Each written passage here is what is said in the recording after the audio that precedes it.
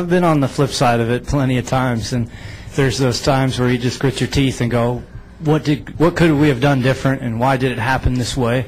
And so it isn't pretty, but we'll take it, and, and that's that's the, the the beauty of Sprint Cup racing is the competition level is always at its best. Guys that have fast race cars sometimes don't win because they got outdueled in the pits uh, with pit strategy.